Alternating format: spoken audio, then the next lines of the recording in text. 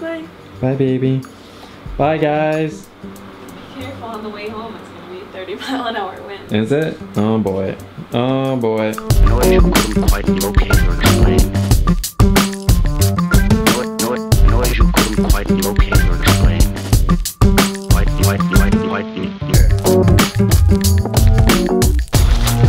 before I get started on a construction today, I wanted to talk about tackling big projects and overwhelming, overwhelming. So this tiny house build is not only very exciting, but also very overwhelming at the same time. I've never done anything like this before. The only thing that I've done is I've just researched it a lot. And yes, I was an electrician, but you don't learn how to frame a house and build a house being an electrician. You just learn how to run wires. So even within the past week, I've been uh, I've been like stressed out about this. Maybe I'm not really showing it on camera, but definitely behind the scenes, there's a lot of things that I don't um, I don't know 100% about building a house. So it can be very overwhelming to undertake a project like this because I don't know everything. I think one of the things that I was doing that was causing me to stress out so much is I was thinking so far in advance and not really focusing on the task at hand. I'm already trying to like figure out how to like install the windows and stuff when I don't even have any walls up. Knowing how to do those things are certainly important and having a basic understanding is good to know right now, but knowing with every little specific detail is not really beneficial for my own sanity.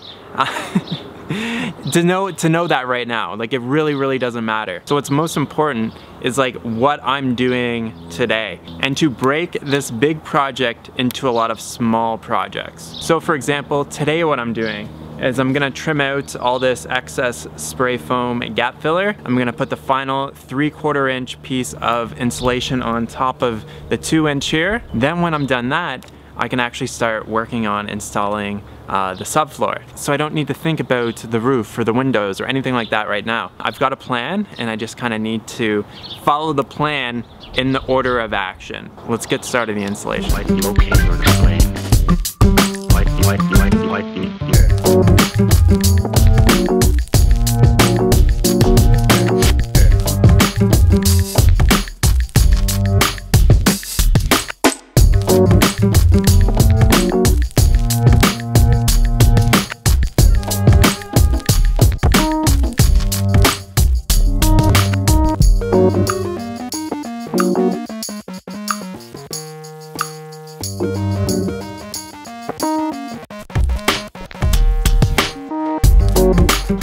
So as you can see here, I've got all the insulation in the subfloor. So the insulation went in pretty smooth. There's a few pieces that I might cut a bit out just because it's sitting a little bit too far um, above the actual level of the uh, of the subfloor itself. So what I'm using for the subfloor is three quarter inch um, tongue and groove plywood. Um, so I've got a 3D model in SketchUp to know exactly how I'm gonna lay everything down and to prevent having squeaky floors, um, everything's gonna be screwed and glued down as well. So on all the joists, I'll put a bead of adhesive down and then we'll just uh, slap the plywood on top, screw it down, then we're hopefully not gonna have any uh, we're not gonna have any squeaky floors because that's never that's never any good. Also on top of that, gonna make sure that there's at least an eighth of an inch uh, between all the seams and all the gaps. Wood can expand and contract. If you have the subfloor butted up like exactly against each other and say the humidity changes or the temperature changes and the wood expands. So if there's no gap there, what could happen with, uh, with a change in humidity or temperature is that the wood will, can expand and as it expands into each other, the floor will actually start to like buckle and raise. So that's why you leave at least an eighth of an inch gap between all the sheets of plywood. So I'm gonna get a few of the sheets down first and then I'll show you how I'm doing it. So I'm cutting this piece to go around the wheel well. So this is the good side, good side, good side. This is the cut side, cut side, cut side. So I think I'm just gonna start my cut uh, down there, come down to here, do a plunge cut right here, and then finish off this one right here. What I'm gonna do is I'm just gonna dry fit all the pieces first before I fully screw them down and glue them.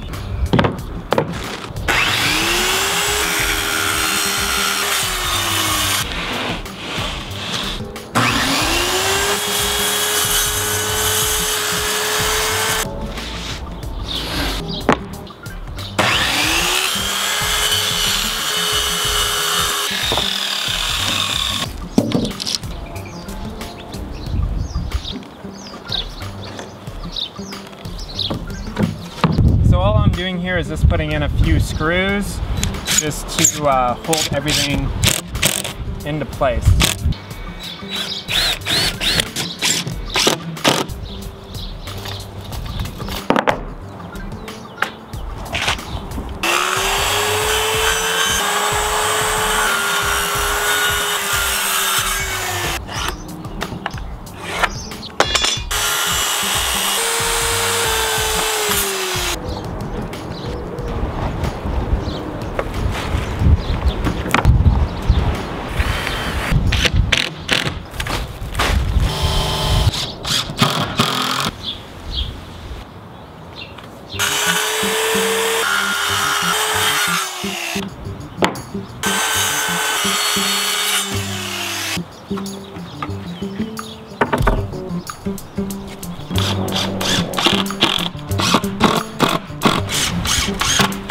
So you can see I've got all the subfloor sheets just laid out.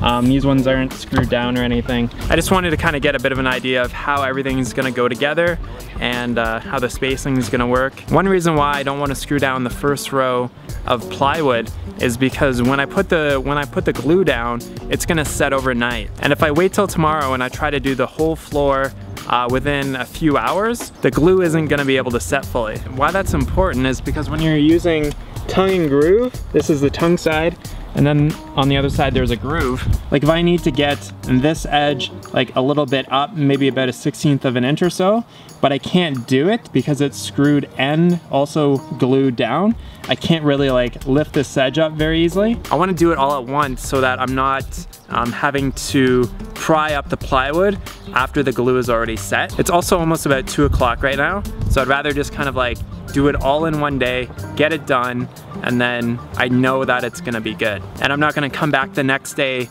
and try to fandangle uh, some pieces together. So I'm really excited to get this subfloor done because when you finish the subfloor, you get to start raising the walls. That's really exciting because then like the whole house is like, it's starting to take some shape. So that's really awesome. So I'm just gonna clean up and then head on home.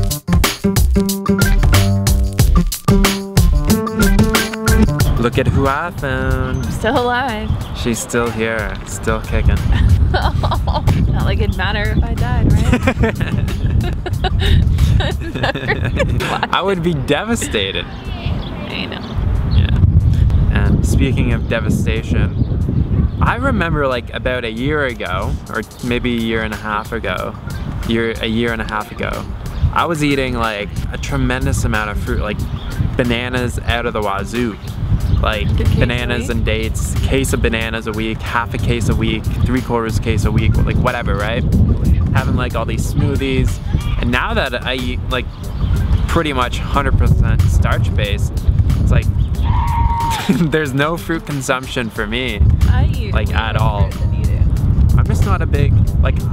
I think because I ate so much fruit for like three or four years, and I'm just like, ah. I'm just not not feel like I love I love fruit, but I'm not like I wouldn't go out and buy fruit right now. Really, I'm just more of the rice and lentils kind of guy right now. I like fruit. But I only maybe have like one fruit meal a day. Maybe.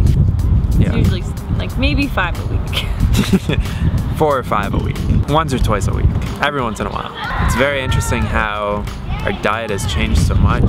Like I feel the same too, and I think I actually feel better. I used to feel so like jittery and like I don't know. I just didn't. I feel much. I feel much better not eating so much fruit. Like sugar is more stable. Oh yeah, much more stable. That's how I feel. If I have like a, if I have a smoothie bowl, I'm fine because usually I add like pumpkin seeds and granola and like all that kind of stuff to the top, which I think the fats kind of stable out your blood sugar a little bit. But if I just have like a ton of a big banana smoothie, I'm just like shaky. Starch based for the win.